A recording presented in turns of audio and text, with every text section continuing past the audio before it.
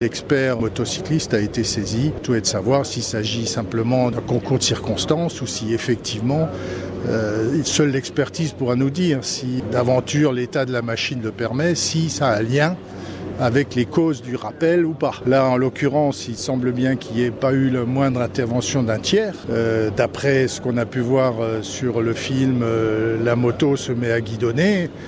Donc il y a manifestement soit un problème de maîtrise, de défaut de maîtrise dû à la vitesse, ce qui peut paraître un peu étonnant compte tenu de la profession du mise en cause qui avait l'habitude de conduire des motocyclettes. Ou alors il y a un problème mécanique. Ceci étant, le problème mécanique, c'est pas pour autant qu'il y aura forcément une infraction pénale à, la clé. Hein, l'infraction pénale, si c'est une défaillance technique, euh, l'infraction pénale, il n'y en a pas.